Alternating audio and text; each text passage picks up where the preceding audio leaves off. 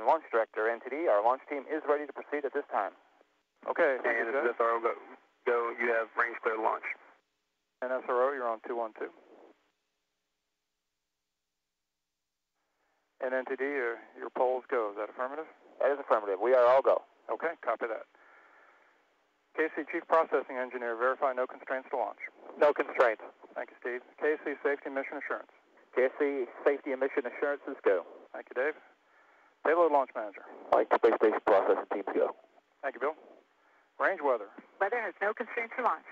Thank you, Kathy. And Ops Manager.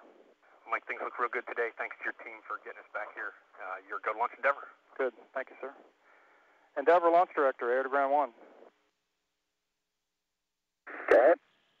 Okay, Mark, looks like a great day to uh, launch Endeavour for the final time. So, on behalf of the thousands of proud Americans who have been part of her journey, good luck, Godspeed, and we'll see you back here June 1st. Thank you, sir. On this uh, final flight of Space Shuttle Endeavour, we want to thank all the tens of thousands of dedicated employees that have put their hands on this incredible ship and dedicated their lives to the Space Shuttle program. As Americans, we endeavor to build a better life than the generation before, and we endeavor to be a united nation. In these efforts, we are often tested. This mission represents the power of teamwork, commitment, and exploration. It is in the DNA of our great country to reach for the stars and explore. We must not stop.